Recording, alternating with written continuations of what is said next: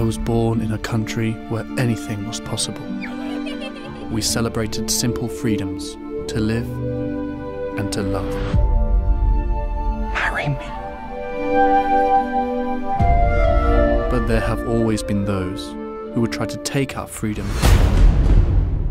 Ukraine must be taught to bow to our will. Without its vast harvests of grain, Russia cannot exist. This would mean the death of millions. Who in the world will know? They're Coming. The Bolsheviks. Your land all belong to the state. I have seen people Left to die. This is not a famine, this is starvation. I must fight for my country. Resistance is strong and spreading. Close the borders, keep them in. We must save ourselves or die.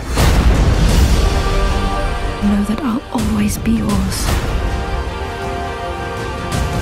Trust me, I will make it home to you. How many lives is this war worth? If I can save one life, that's enough for me. We must continue the resistance. Having someone to live for gives me courage.